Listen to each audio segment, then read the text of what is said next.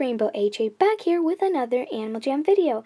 Today we are going to be picking the winner of the 10 Super Sapphire Potions, aka the collab giveaway. Also guys, thank you so much for 250 subscribers.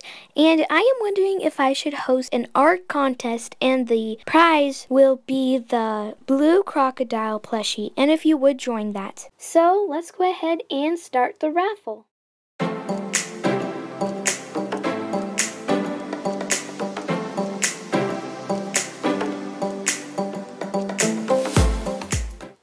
the winner is Lilith the Fox, and their username is Lexi the Fox Queen. So comment down below the time that you can come on Animal Jam and claim your prize. If you do not claim it within one day, I will be picking another winner. So yeah, that's it for today's video. I hope you enjoyed it. Please like and subscribe, and I'll see you in my next video.